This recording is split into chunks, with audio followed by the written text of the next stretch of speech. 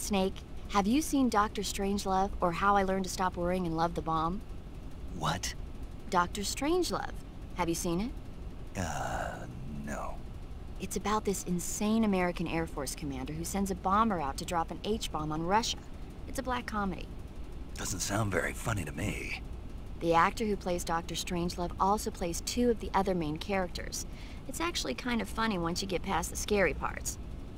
It just came out this year, so I bet you could still go and see it. Maybe when I'm in a lighter state of mind, I'll give it a try.